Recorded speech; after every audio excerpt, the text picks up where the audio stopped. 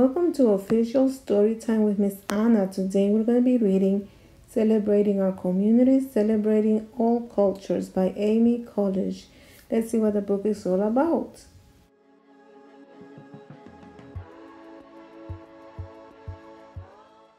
Chapter 1 Have you seen foods from a different part of the world at the grocery store? Maybe you've tried foods from different countries kebab, taco, I'm full. Have you heard people speak other languages? Maybe if you looked at paintings at a museum, food, language, and art are all part of culture. Culture is a way of life. It is what makes us who we are. Music, clothing, and celebrations are all part of culture. So is how people act and behave. Do you hug people when you greet them? This is part of your culture. Learn your culture. We learn our culture from others. We can learn it from our family or others in our community. Do you learn how to make certain foods? That is part of your culture too.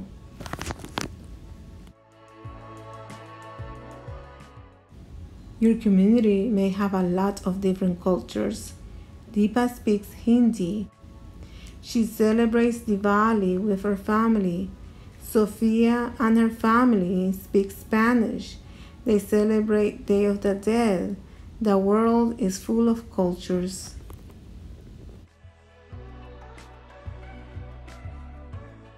Chapter 2 Learn and Respect. You can learn about other cultures. This helps us understand others, and it's fun. Kids in Gio's neighborhood play baseball. Gio teaches others how to play.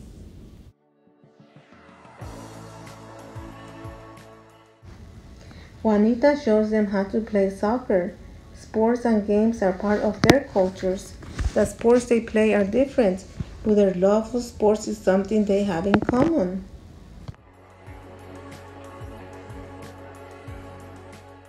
When we learn more about or experience other cultures, it helps us respect them. Kim listens to music from another part of the world. She looks up videos to see how people dance to it.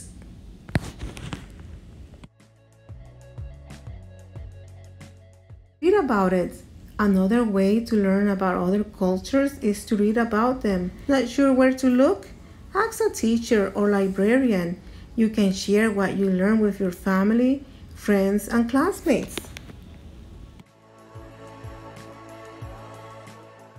Do you know someone who celebrates another culture? Ask him or her about it. Find the similarities and differences between your cultures. You may find out that you are more alike than you think. Getting to know others can help you appreciate other cultures and your own.